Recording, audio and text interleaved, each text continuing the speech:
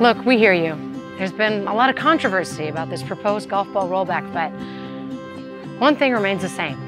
Pro golf is just too entertaining, right? People are hitting it 500 yards, getting a 59, and then a $5 million check. What is that? That's not fun, okay? That is not fun.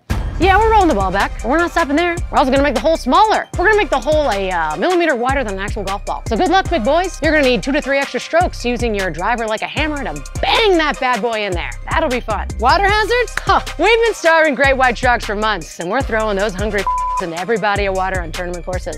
Golf clubs? You're playing with 18-inch Fisher-Price red plastic ones now. Bunkers? Quicksand. Normal-sized trees? You're getting those big talking from Lord of the Rings. And the only hobbit around to help you is Matt Fitzpatrick. Justin Thomas, more like just insufferable. Am I right? Jon Rahm. John ramen up your butt.